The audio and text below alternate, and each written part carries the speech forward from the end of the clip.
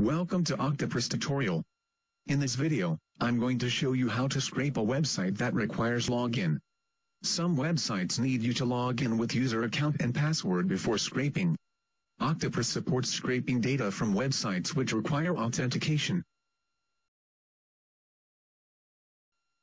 After setting basic information, configure extraction of the task. Open the login page URL right here.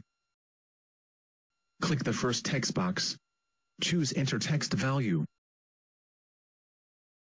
Type your account in the input box.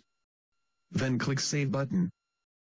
You can see it automatically shows in the first text box. Then click the second text box. Select Enter Text Value again. Type your password. Then click Save.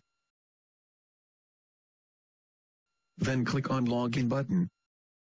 Select Click an item. Now you have logged in your account on the website. Sometimes, the elements on the web page is not all loaded at the same time.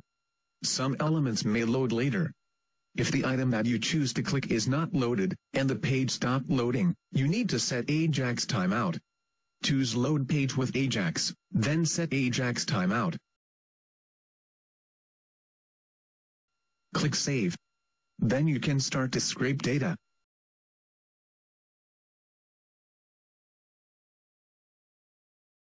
Once done configuring extraction rule, click Next.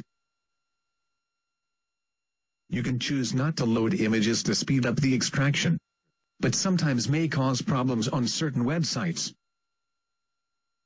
Now the task is completed. Choose the local extraction to run the task on your computer. The data extracted will be showed in this pane, and we can also see the configured rule of the task. You can also check out the built-in browser to see if the task runs as expected. Export the results to Excel files, or other databases, and save the file to the computer. You've seen how Octoparse extract data from the website quickly and effectively. For more tutorials please check out octoparse.com. Thanks for your watching.